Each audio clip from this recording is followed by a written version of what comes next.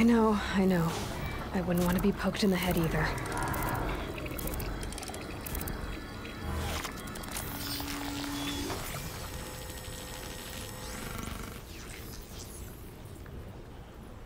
So the Tallneck remembers everything along its path, and sends what it sees to other machines.